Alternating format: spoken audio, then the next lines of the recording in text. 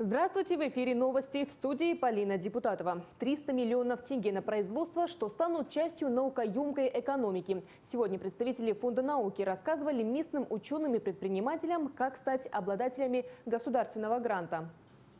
Еще в 2011 году был принят закон о науке, а в 2015 вышел в свет закон о коммерциализации акционерное общество «Фонд науки». Было выбрано оператором по грантовому финансированию. Кустанайским ученым и предпринимателям сегодня рассказывают о том, как принять участие в конкурсе и получить грант от государства до 300 миллионов тенге. Сумма на развитие бизнеса внушительная и, главное, безвозмездная. Основное условие – это производство должно быть наукоемким, а предприниматель готовым к софинансированию проекта. Сегодня в стране уже запущено 96 новых производств, которые выиграли два предыдущих конкурса и воспользовались грантовой поддержкой. Сумма грантового финансирования более 20 миллиардов тенге. К примеру, э, в Акмолинской области э, запустилось производство в апреле месяце, э, производство симбиотического йогурта НЭР, напитка, то есть если зарубежные аналоги, там два три пробиотика, то отечественный продукт, здесь 6 пробиотиков. Разработка ученых Назарбаевского университета совместно с агрофирмой «Родина» реализует проект. Сейчас данная продукция, йогуртовый напиток, успешно реализуется в Акмолинской области, в городе Астана. Также недавно вот в городе Чимкент а, было запущено производство источников питания для светодиодного освещения. То есть первое казахстанское производство этих бесперебойных источников питания. В Карагандинской области, то есть можно продолжать, очень много проектов уже запустилось. В Карагандинской области запущено производство а, модификатора битума, то есть э, повышает качество дорожного покрытия, то есть уже был заселен участок опытный, один километр, то есть э, показал очень хороший. Ну, Принять участие в третьем по счету конкурсе на обладание государственным грантом призывают местных ученых и бизнесменов. Государство сегодня заинтересовано, чтобы в регионах результаты научной деятельности активно внедрялись на производствах. Реализуем с опережением. В Камыстинском районе активными темпами реализуется программа развития продуктивной занятости и массового предпринимательства. Краткосрочное профессиональное обучение дает возможность камыстинцам получить новую специальность, а после и рабочее место. Привлекают в районе и соотечественников с юга. Работу и дом, говорят здесь, найти несложно. Главное – желание переселенцев – учиться и трудиться. Камыстинском районе программа развития продуктивной занятости и массового предпринимательства вот уже несколько лет является решением практически всех проблем. Проблем с поиском работы. Ведь найти ее в деревне всегда было непростым вопросом. Однако теперь и сельчане, и работодатели знают, что в центре занятости они могут зарегистрироваться в базе данных и практически сразу получить различные варианты и предложения. С начала года у нас уже трудоустроено 100, на постоянные рабочие места 183 человека. Также в рамках рамках этого а, направления у нас еще задача – это а, создание социальных рабочих мест. У нас 15 а, предприятий – это и индивидуальные предприниматели, это и крестьянские хозяйства, это и э, товар, э, ну, товаропроизводители наши, которые из года в год дают нам заявки на создание социальных рабочих мест. И мы как бы заключаем с ними договора, и в этом году при плане 15 человек мы уже направили 29 человек, 29 э, участников нашей программы на социально рабочие места. Они, у них средний, зар, средний размер заработной платы сегодня составляет 60 тысяч. Краткосрочное профессиональное обучение включает в себя подготовку и переподготовку кадров. Срок обучения от 1 до 6 месяцев. Курсы по 9 специальностям специалистам преподают на базе трех учебных заведений. 26 человек, кстати, уже воспользовались этим шансом. В прошлом году новые специальности получили более 50 человек. Целях поддержки и развития массового предпринимательства в рамках второго направления имеется возможность обучения сегодня основам предпринимательства по проекту «Бастау Бизнес», которая реализуется совместно с Национальной палатой предпринимательства «Атамикен». Всего в этом году у нас было запланировано 40, 40 человек обучения, и 40 человек у нас прошли обучение, получили сертификаты. У нас уже есть претенденты, э, которые э, занимаются сбором документов на получение микрокредитов для открытия своего собственного дела и э, развивать свой действующий, действующий бизнес. Ирина Байтекова и Светлана Руш теперь имеют постоянную работу, пенсионные отчисления и отпуск. Устроиться в местную столовую им помогли в центре занятости. График работы и размер зарплаты женщин устроил. Я устроилась сюда, обратилась в социальную помощь, ну, тут Дом творчества, насчет работы, чтобы меня устроили на работу. Мне по- порекомендовали сюда, в Дом творчества, в столовую. Вот, я устроилась, кухонная рабочая, с февраля месяца работаю, мне нравится. Тут коллектив хороший. Работаю поваром с февраля месяца. Перечисляют пенсионные начисления. Работа нетрудная, с 8 до 6, выходные.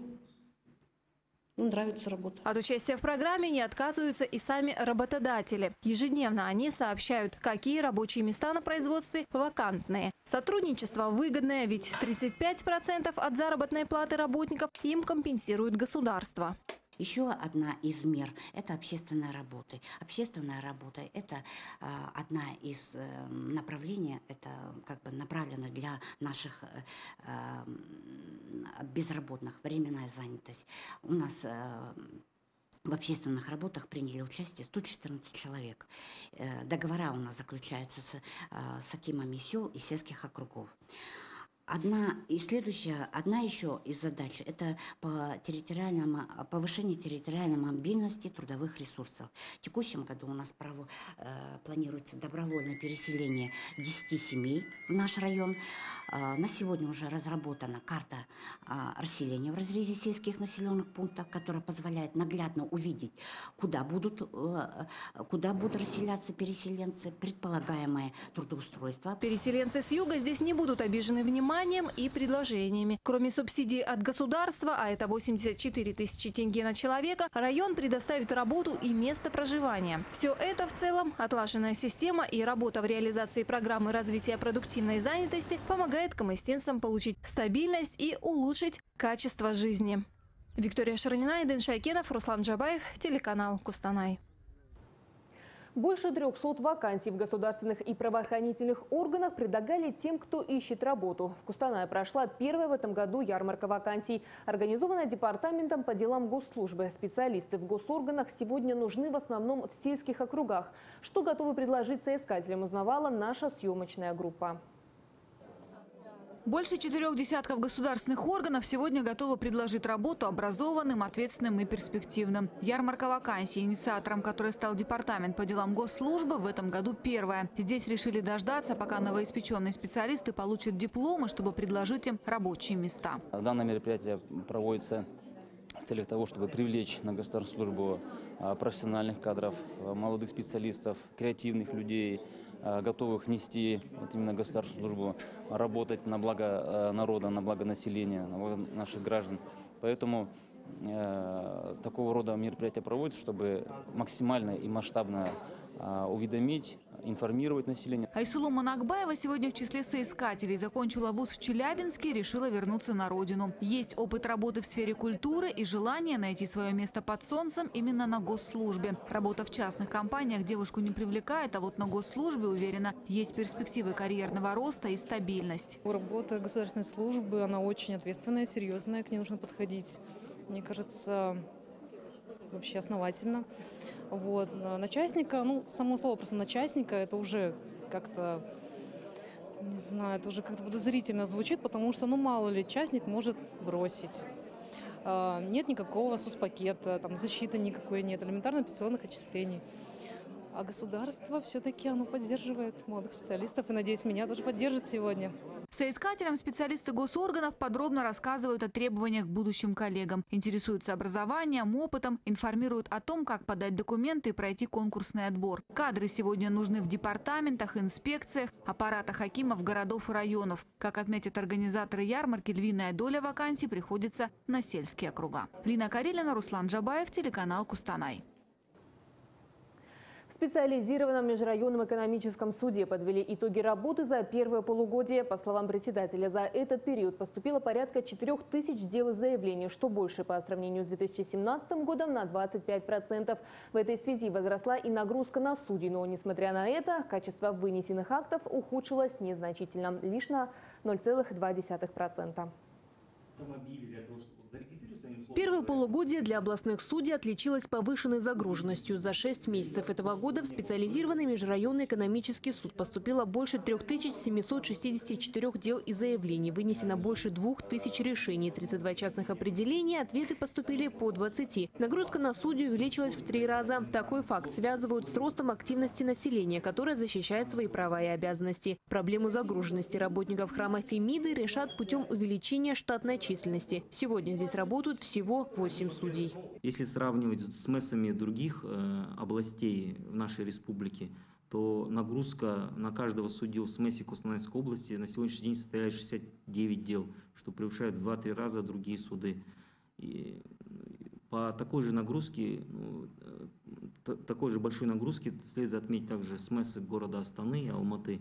Обсудили и проблему в нарушении налогового законодательства. В результате мониторинга Департамента госдоходов до сентября этого года в суд поступят более трех тысяч дел о ликвидации юридических лиц и прекращении деятельности индивидуальных предпринимателей. За определенный период от трех до пяти лет, которые не сдают, то Департамент государственных доходов выявляет эти лица. Значит, среди них есть как бездействующие, так те, кто не сдают налоговую отчетность и этих лиц проверяет. Там есть определенные значит, критерии для выявления э, данных юридических и индивидуальных предпринимателей. После чего значит, эти иски э, будут направляться к нам в суд. Последний раз работа по закрытию юридических лиц, нарушающих налоговое законодательство, проводилась в 2014 году. Тогда было ликвидировано около 2000 предпринимателей. Полина Депутат, Ватулпар Санай, телеканал Кустанай.